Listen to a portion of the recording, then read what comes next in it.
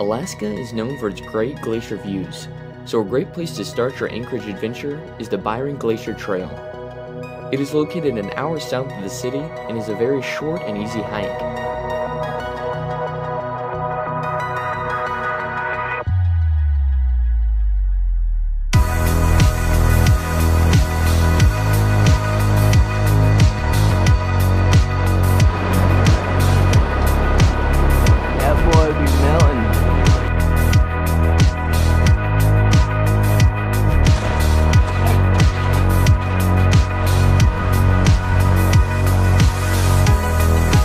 As well, the drive there is quite incredible.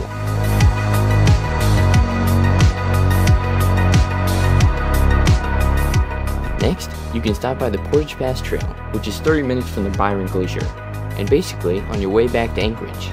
Careful planning though, because you pass through the longest tunnel in North America, and it is on an hourly schedule for each direction.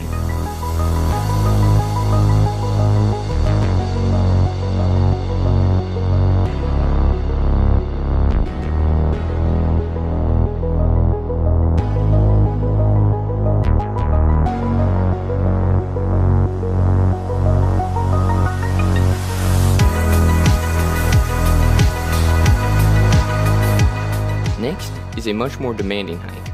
Flattop is the closest hike to the city. It is quite short distance wise, but to reach the end, you have to overcome a very intense incline. There's people parachuting up there.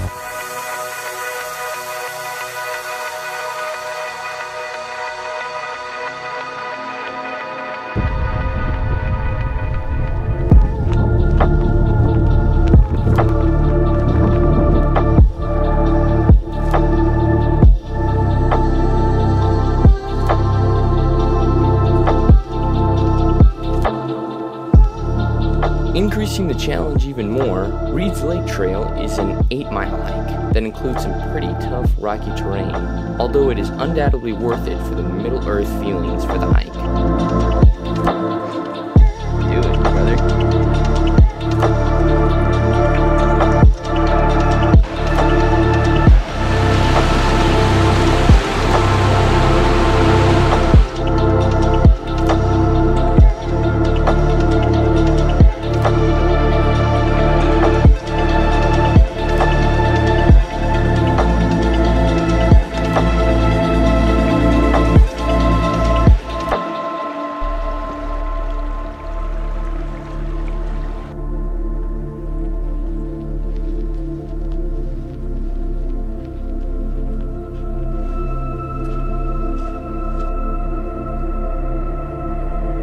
Finally, the greatest and most challenging hike is the Harding Icefield. It is 8 miles, but 9 if you include the walk from the parking lot to the trailhead.